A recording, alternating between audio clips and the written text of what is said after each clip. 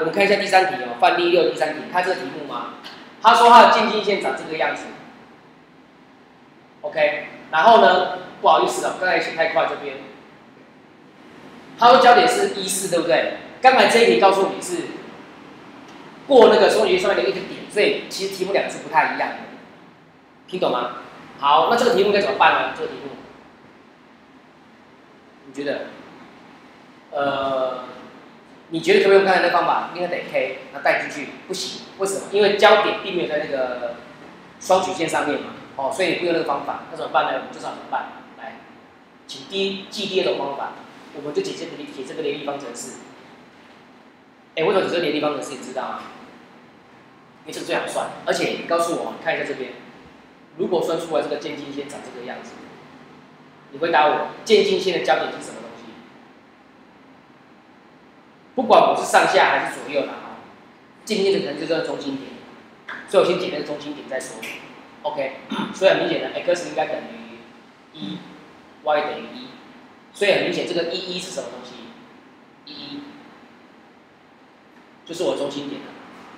然后呢，接下来开始看一下中心点跟焦点对照一下，哎，看起来很爽，为什么？因为如果这里是一一的话，一四是在这个地方是焦点。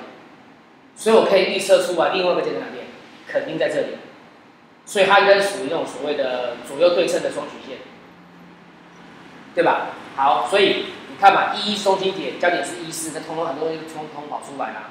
首先第一个 c 是多少？知道吗？c 就是三，对吧？哦，c 是三。还有呢？还有什么我可以知道的？你觉得？c 我已经知道是三了，然后呢？还记不记得我们刚才讲到的东西？我们说渐进线的斜率，这个 b 分之 a，哎，b 分之 a 或是 b 分之负 a，那个呃渐进线的斜率 m 啊，就等于 b 分之 a。呃，对不起，如果是左右左右的话，它的斜率应该是 a 分之 b 吧？有没有？还记不记得刚才讲到的？我们说如果渐进那个双曲线是左右开头的话。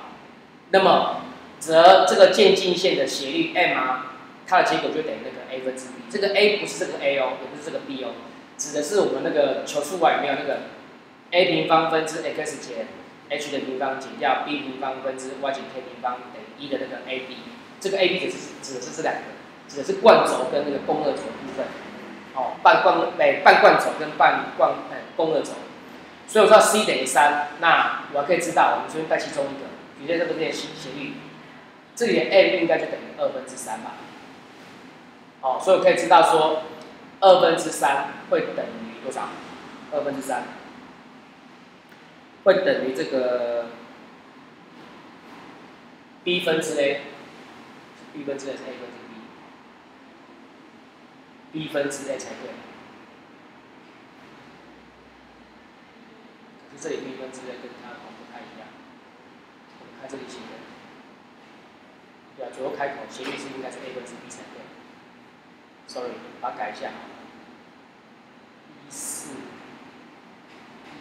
对啊，a 分之 b。好，把它改一下。好，然后接下来再怎么做？接下来，我是不是写错了？我写错了，知道吗？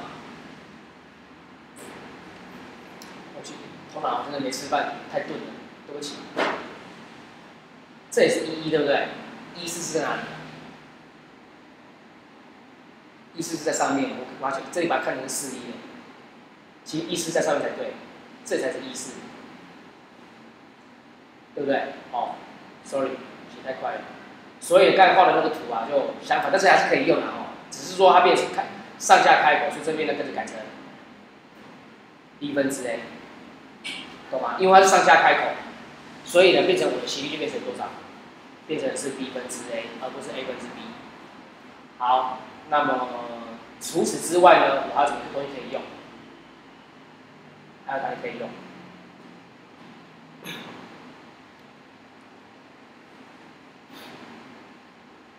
怎么办？还有什么可以用？好，首先第一个，对不起。既然 b 分之 a 等于二分之三，对不对？我可以知道一个结果，就是 a 比 b 是几比几，你知道吗？a 比 b 就是这里的三比二嘛。然后 a、b、c 这三个三个位置数它有什么关联性？是不是 c 平方会等于 a 平方加 b 平方？那 c 是多少？c 就是九嘛。好，c 是九。a 平方跟 b 平方呢，原本是两个未知数，我可以把它换成什么？因为既然三比二，我可以讲它是多少？三 k 跟二 k，所以把平方带进去就变成了九 k 平方加上四 k 平方。哦，所以我可以知道说 k 平方就等于十三分之九。好，那其实我答案求出来了，知道吗？为什么？因为我的公式里面肯定是因为是上下开口的关系。对不对？是的，y x 是负的，所以是减掉 x 减一的平方，然后呢，y 减一的平方，因为中心点已经知道了。好，然后是因为上下开口的关系，所以是 a 减一平方，然后等于一。然后这里呢带要带 a，这要带 b。然后呢，因为 b 的话是这个二 k 二 k 嘛，对不对？所以平方的平方应该是四 k 平方。那因为我已经有四了嘛。哎，我已经有 k 平方了嘛，所以乘四倍就好，所以应该变成了十三分之三十六。然后它呢，应该是十三分之 a 的话是三 k，所以平方是九 k 平方，就要乘以九，所以变成了八十一。OK，好，所以大家应该等于它才对。好，哎，你要小心一点，别犯犯犯一样的错误。